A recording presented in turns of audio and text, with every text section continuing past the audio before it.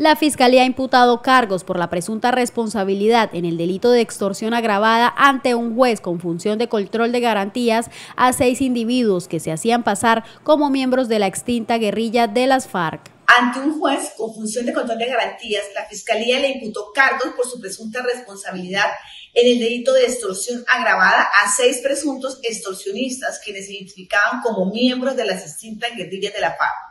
Los hechos en materia de investigación ocurrieron el 9 de junio cuando la víctima, un propietario de una finca ubicada en zona rural del municipio de Aguachica Cesar, comenzó a recibir mensajes intimidatorios contra su vida y la de su familia, donde le exigían la suma de 25 millones de pesos, situación que fue denunciada ante la Fiscalía. Según la Fiscalía, durante la investigación, lograron identificar a las personas que presuntamente estaban involucradas en la extorsión, lo que llevó a la captura de los acusados en un operativo realizado por funcionarios del Cuerpo Técnico de Investigación CTI, la Policía y el Ejército los días 20 y 21 de junio. Durante la investigación se pudo identificar a las personas que habrían participado en la extorsión logrando la captura de los hoy asegurados en un operativo realizado por el Cuerpo Técnico de Investigación del CTI, Policía y Ejército, realizado los días 20 y 21 de junio. Esta acción judicial representa un avance en la lucha contra la extorsión y la protección de las víctimas. La Fiscalía asegura que continúa trabajando para garantizar la seguridad y tranquilidad de los ciudadanos